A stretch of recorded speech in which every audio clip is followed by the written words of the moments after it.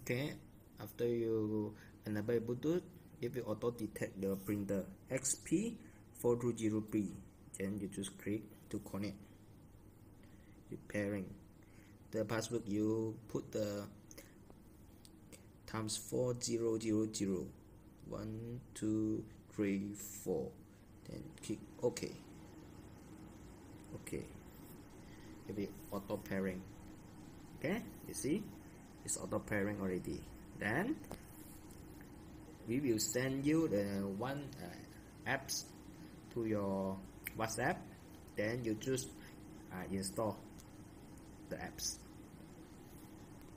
Okay this file is the app just now uh, I mentioned I mentioned will send to you.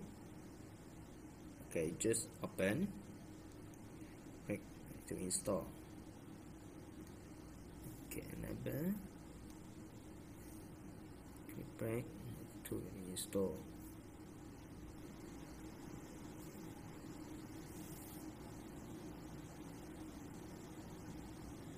this one is the print label.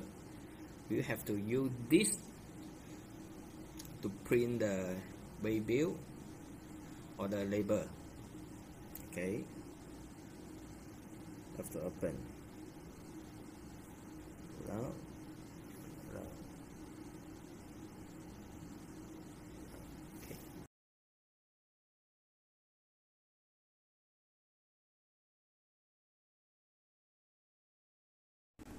okay after you click print then you, you you have to connect one more time your printer. You see this one.